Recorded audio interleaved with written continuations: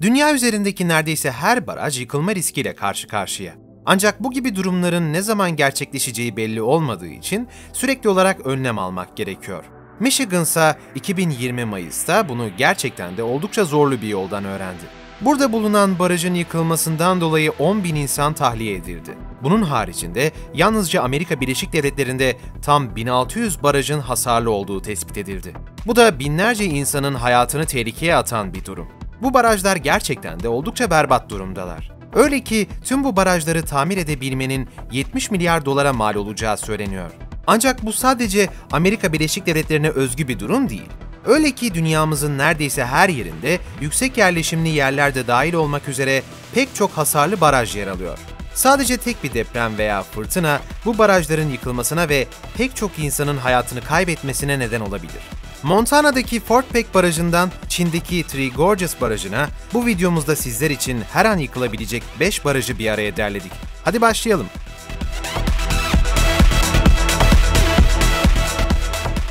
2020 Haziran'da Çin'de çok büyük bir felaket yaşandı. Bu tarihte ortaya çıkan fırtınalar oldukça geniş çaplı bir tahribata neden oldu ve bu fırtınalardan 24 şehir birden etkilendi. Bu noktada Three Gorges Barajı'nın akıbeti de merak konusu oldu. Uzmanlarsa barajın hasarlı olduğunun ve her an yıkılabileceğinin altını çizdiler. Three Gorges Barajı, dünya üzerindeki en büyük hidroelektrik projesi. Devlet buraya sürekli olarak yatırım yapmaya devam etse de barajın çatlaklarının sesi duyulmaya başladı. Çinli su bilimciler şu an için barajın dayanıklılığının şüpheli olduğunu iddia ediyorlar. Barajın tasarım, inşa gibi aşamaları aynı şirket tarafından gerçekleştirilmiş. Bu şirketin tüm aşamaları oldukça hızlı bir şekilde gerçekleştirdiği bu nedenle efektif bir sonuç ortaya çıkmadığı söyleniyor. Üstelik burada bulunan su seviyesi Çin'de normal olarak karşılanan su seviyesinin de üzerinde bulunuyor. Bu nedenle Three Gorges Barajı şu an için risk oluşturuyor.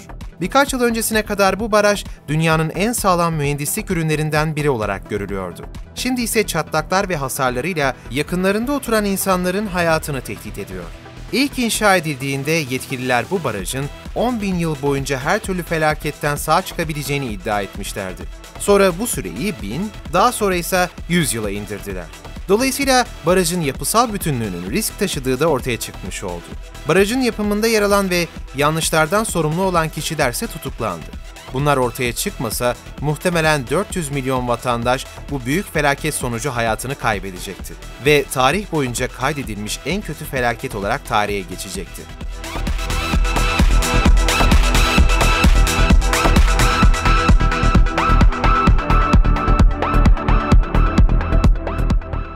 Isabella Nehri, Sierra Nevada dağlarının hemen yanında bulunuyor. Bu nehir 350 bin kişinin yaşadığı Bakersfield şehrine 1 kilometre kadar uzaklıkta yer alıyor. 1950'lerin başında modern standartlar daha ortaya çıkmadan önce inşa edilen Isabella Barajı da tam olarak burada bulunuyor. Bu nedenle Isabella Barajı'nın yıkılmaması için adeta hiçbir neden yok. Yapının içindeki erozyon nedeniyle sızıntılar başlamış. Bu da kötüye işaret ediyor. Yeterince kötü gelmediyse jeologlar bu barajın direkt olarak bir aktif fay hattının üzerine inşa edildiğini saptadılar. Bu problemler 2000'li yıllarda ortaya çıktı. Direkt olarak bir plan uygulanmaya başlandı. Ancak barajın hala birçok problemi bulunuyor ve bu problemler çeyrek milyon insanın hayatını tehdit ediyor. Bu nedenle California Bakersfield'ta yaşayan insanların bu baraj hakkında detaylı şekilde bilgilendirilmesi ve bazı çalışmalar yapmaları gerekiyor. Belki de bunun üzerine bir plan yapılırsa çok sayıda insan böyle kötü bir felaketle yüzleşmek zorunda da kalmaz.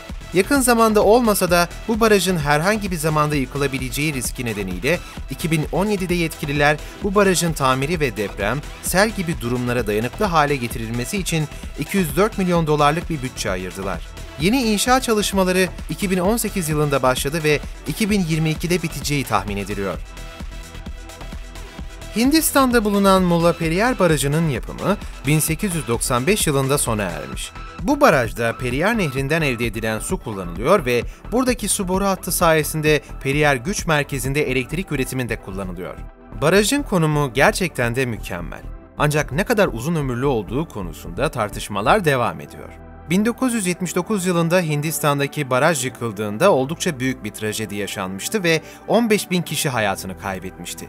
Bu nedenle daha sonra inşa edilen Mulla Periyar Barajı'nda daha çok önlem alındı. Ancak çok geçmeden bu baraj üzerinde de çatlaklar ve hasarlar tespit edilmeye başlandı. Yapılan testler sonucuysa bu barajın Richter ölçeğine göre ortalama 6 şiddetindeki bir depremden sağ çıkamayacağı ve büyük ihtimalle yıkılacağı belirtildi. Bu baraj aslında uygulanması gereken kurallar dikkate alınmadan inşa edilmişti. Örnek vermek gerekirse baraj yapımında moloz kullanımı tercih edilmişti. Üstelik barajın inşa edildiği bölge sismik olarak da oldukça aktifti. 1980 yılından beri bu bölgede küçüklü büyüklü depremler olmaya devam ediyor. Bu depremler baraja çok keskin zararlar vermedi. Ancak risk büyüklüğünü korumaya devam ediyor.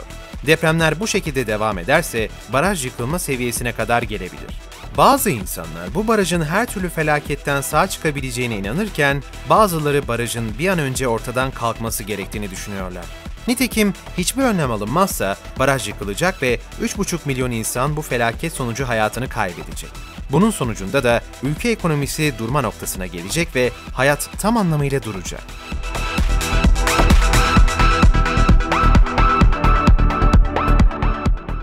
Montana'dan çok uzak olmamakla birlikte burada dünyanın en büyük barajlarından biri olan Fort Peck Barajı bulunuyor.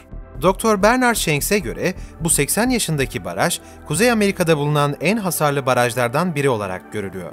40 yıldır Missouri Nehri'ndeki barajlar üzerinde çalışmalar yürüten kara ve vahşi yaşam uzmanı Shanks, asıl problemin barajın inşa edilme biçiminde olduğunu söylüyor. Aynı şeyleri Fort Peck Barajı yöneticilerinden Darren McMurray de iddia ediyor. McMurray, bu barajın yapımında çok da dayanıklı görülmeyen çamur karışımlarının kullanıldığını ve barajın temelinde dahi bu karışımlardan olduğunu belirtiyor.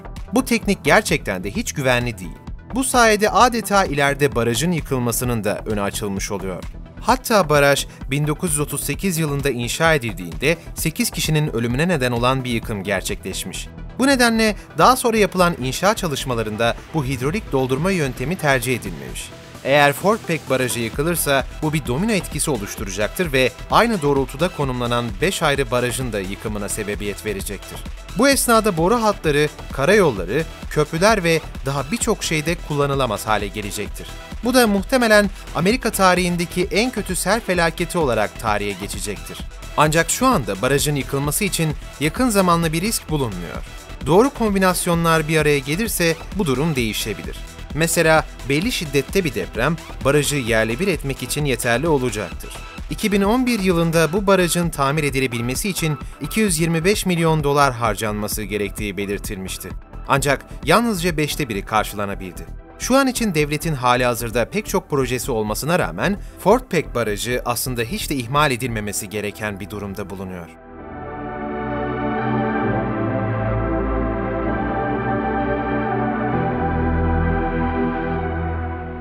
2017 yılında Harvey kasırgası Teksas eyaletini vurdu. Kasırgadan önce burada bulunan baraj için durum hiç de iyi görünmüyordu. Öyle ki baraj her şekilde yıkılacağına işaret ediyordu. Kasırga esnasında barajdaki su seviyesi maksimuma ulaştı. Bu nedenle kasırganın barajı yıkmasını engellemek için Amerika Birleşik Devletleri'nden yetkililer ve mühendisler suyu Buffalo koyuna aktardılar. Burada bulunan tüm barajlar yaşları, hasarları ve çatlakları nedeniyle yüksek risk grubunda bulunuyordu. Yine de barajlar üzerinde herhangi bir güçlendirme çalışması yapılmadı ve kasırga geçtikten sonra herkes sanki hiçbir şey yokmuş gibi hayatlarına devam etti. Yerel çevre uzmanlarından Jim Blackburn, bunda sorgulanacak bir şey olmadığını ve bu durumun önüne geçilmezse burada yaşayan insanların çok büyük bir felaketle karşı karşıya kalabileceğini, hatta Houston'ın batı yakasının kaybedilebileceğini söyledi. Ve sözlerine bu felaket şimdi yaşanmasa bile her an yaşanacakmış gibi hareket edilmesi gerektiğini de ekledi. Belirlenen hasarlardan sonra baraj üzerinde çalışmalar yapıldı ve tehditler minimuma indirildi. Şimdilerde hala belli bir grup baraj üzerindeki güçlendirme çalışmalarına devam ediyor ve kanallar açıyorlar. Dünya üzerinde çok sayıda yıkılma riski bulunan baraj yer aldığı için buralarda yaşayan yerlilerin de hasarlı barajlar konusunda eğitilmesi ve riskleri minimuma indirmek için çalışmalarda bulunmaları gerekiyor. Eğer sorumlu davranılmazsa ortaya çıkabilecek sonuçlar felaket olabilir.